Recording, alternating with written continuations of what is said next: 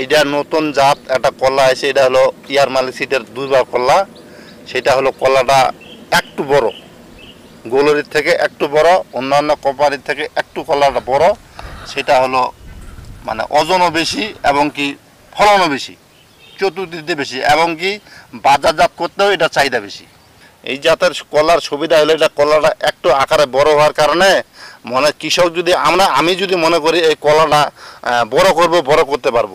মানে যেটা বাজারে চাহিদা হবে, বড় বড় চাহিদা হলে বড় করব, মাঝারি চাহিদা চাহিদা হলে মাঝারি করব। আবার যদি মনে করেন যে ছোট চাহিদা বেশি, তাহলে আমি ছোটরা এটা, এই ছোটরাই তুলবো। এটা শুধু একমাত্র কালারের জন্য, আর এই যে কাঁটাগুলো ভাঙে না, শক্ত হাডি হাট বেশি, এই জন্য এইগুলো কাঁটা ভাঙে না, যেরকম কলা নিয়ে যায়, সেরকমই থাকে যায়। এই জন্য পাইকারগুলো চাহিদা বেশি, এবং এক টাকা হলেও বেশি দামে বিক্রি হয়।